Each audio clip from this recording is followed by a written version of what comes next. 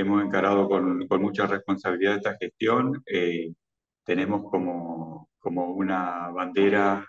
eh, de gobierno la austeridad y la transparencia de todos los actos que realizamos, así como nos tocó a los pocos días de asumir eh, organizar el Festival de Jinería y Folclore y ahora el día 4 de marzo en la apertura de la legislativa vamos, vamos a presentar el balance, que es algo que no se ha presentado un balance real, hace muchísimos años que no se presenta un balance real de un evento, nosotros lo vamos a presentar y le vamos a mostrar a cada uno de los, de los contribuyentes y a cada uno de los diamantinos, entrerrianos y, y del país que, que, les gusta y que han participado de este festival y que son parte del festival, le vamos a poder demostrar los números. Lo mismo vamos a hacer con este evento, que si bien no tiene costo la entrada, porque es una entrada gratuita para que el diamantino festeje, nos acompañe, porque eh, repetimos el festejo de nuestra ciudad, los 188 años de nuestra ciudad,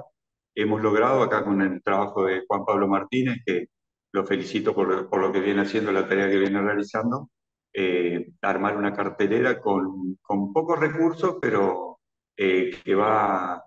a ejemplificar muy bien el festejo que nosotros queremos. Eh, nosotros venimos para hacer las cosas de la mejor manera posible que, que logremos hacerlas. Podremos cometer algún error, lo vamos a enmendar y vamos a seguir adelante y se lo vamos a mostrar, esos errores también se los vamos a mostrar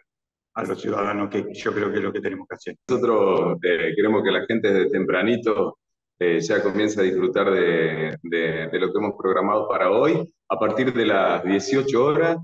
eh, nosotros tenemos ya una grilla de actividades que, va a arrancar con una especie de llamada eh, de la Murga Amigachitos de nuestra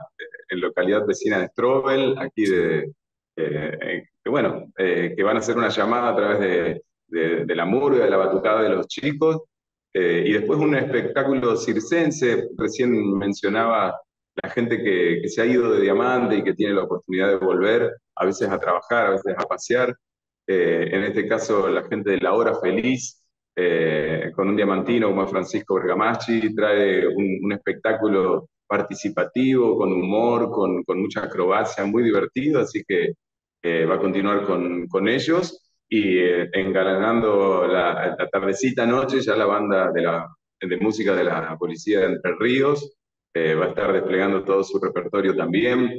Nos va a acompañar la gente del ballet Emoveré, eh, que estuvo también participando de, nuestro festival. Y bueno, nuestra música viene entrerriana con los del Gualeyán, también eh, la, Escuela de Música de Playing for Change, que tenemos aquí en Diamante, que está trabajando culturalmente hace, hace mucho tiempo ya. Eh, Elementos, que es una banda de pop rock muy, muy interesante eh, y abre un poco el abanico musical que vamos a escuchar y vamos a, a cerrar después con, eh, con Los Inocentes, a toda cumbia. Nuestro trabajo es fomentar los espacios de expresión eh, de, de, toda esa gente que ya está haciendo cosas para que eh, otra gente también se contagie y, y, pueda, pueda hacer, pueda encontrar ese camino, pueda encontrar estos espacios de, de, de expresión, como decía, sí. eh, pero también